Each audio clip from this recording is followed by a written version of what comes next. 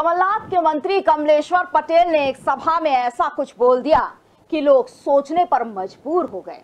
अपने भाषण में सरकार पर कर्ज और वादों की चर्चा करते हुए मंत्री पटेल ने कहा कि वचन जाए पर प्राण न जाए और मंत्री के इस वचन जाए पर प्राण न जाए पर लोगों ने तालियाँ भी बजाई।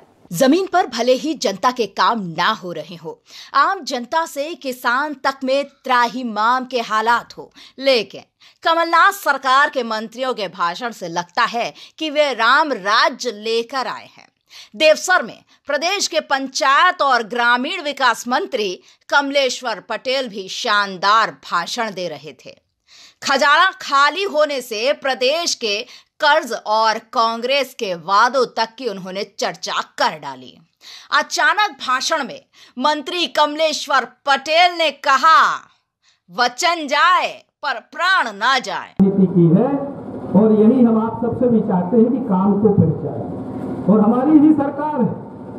कांग्रेस की सरकार बनते ही किसानों के कर्ज माफ़ी का, अगर वचन पत्र में उल्लेख किया था तो कर्ज माफ़ी का काम करके बताया। खजाना खाली था। जब वचन पत्र हमारी पार्टी ने तैयार किया था, नहीं मालूम था कि एक लाख अठहत्तर हज़ार करोड़ का कर्जा होगा मध्य प्रदेश की सरकार के ऊपर, मध्य प्रदेश की जनता के ऊपर। उसके बाद भी, क्योंकि वचन दिया था तो हमारे नेताओं ने कहा, वचन जाए पर प्राण न जाए। वचन निभाने का कर रहे हैं? पहले कमलनाथ सरकार एक तरफ़ जहाँ सत्ता बचाने की कोशिश में लगी हुई है तो वहीं कमलनाथ अपने मंत्रियों की फिसलती ज़ुबान या ये कहें कि कुछ भी बग देने की आदत से परेशान हैं। सभा को संबोधित करते हुए ग्रामीण और विकास मंत्री कमलेश्वर पटेल ने अति उत्साह में आकर कहा कि कांग्रेस के नेताओं ने चुनाव के समय वचन दिया था। और कांग्रेस नेताओं का कहना है कि वचन जाए पर प्राण ना जाए।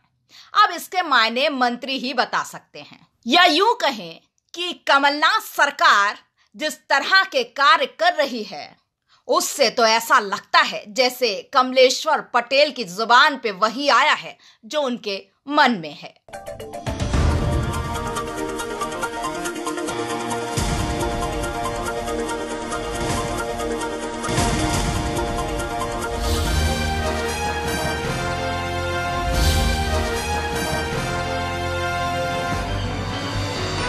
आप देख रहे हैं दखल न्यूज़।